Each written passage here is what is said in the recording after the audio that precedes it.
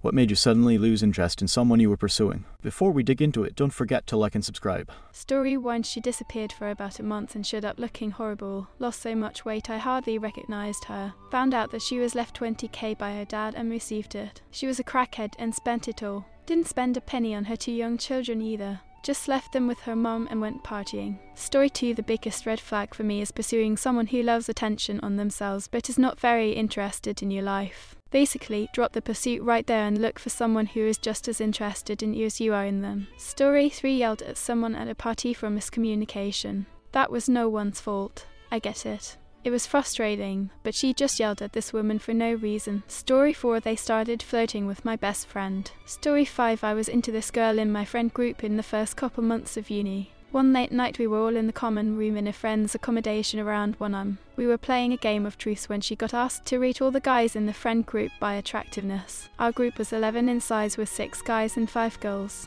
She started off with the most attractive and went down the list.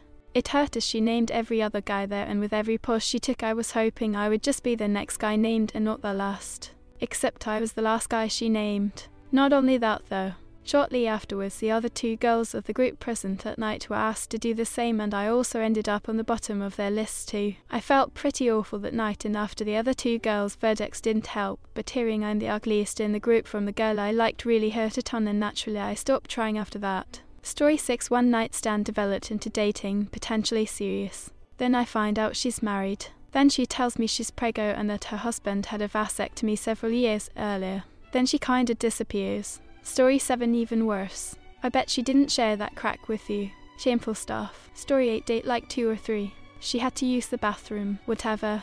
No biggie happens. Even stinking the bathroom up wouldn't have bugged me. Not flushing a substantially sized crap and apparently not wiping, however, was a deal breaker. Story 9 met girl through Tinder, seeing each other three to four times. Everything was good.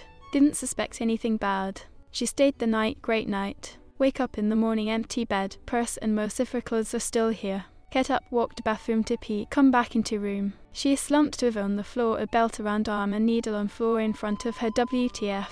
I get her up, get dressed and get out. Goodbye. Story 10 He genuinely referred to himself as an alpha male and then continued to tell me how much women sucked while we were at a concert with a woman opener.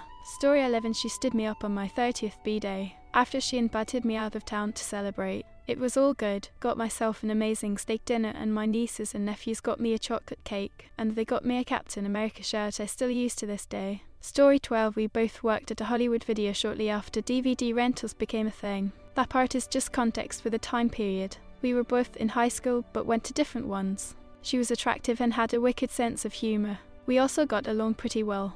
I was planning to ask her to my school's homecoming. One Saturday morning, we were both on the opening shift. A severely mentally handicapped man came in asking for help with his watch. I tried to help him, but the thing looked pretty busted. As soon as the door closed, she let out a huge disgusted sigh and said, God, I freaking hate us so gross. And the shuddered like someone had splashed her with something. My opinion of her dropped like like a lead balloon. Story 13 sounds like that Ted was too big to flush. That's why you have to have your poop knife conveniently located next to the craptor. Story 14 Oyumi stated, Dating a girl at work starts sleeping together gets pretty serious. Then, walking out of work one day, some dude just sucker punches me right in the mouth. That was her husband. Then she tells us both she's pregnant, but find out that she was also sleeping with her gym coach and the coke man that delivered to our work. She disappears and none of us hear from her again. 18 years later, this guy messages me and thinks I'm his dad. We do a DNA test, and sure enough, I'm the winner. Now I have another son. She lied to him and said I got her pregnant and bailed. I have him take me to her first time I had seen her since she disappeared. We set the record straight with him ASAP. She tried to lie, but I didn't allow that crap to happen. Story 15 Honestly, your friends are jerks. No one should be ranking from best looking to worst looking. Anyone with class would only name the best looking, if at all. Story 16 We met online and would talk for hours on a daily basis.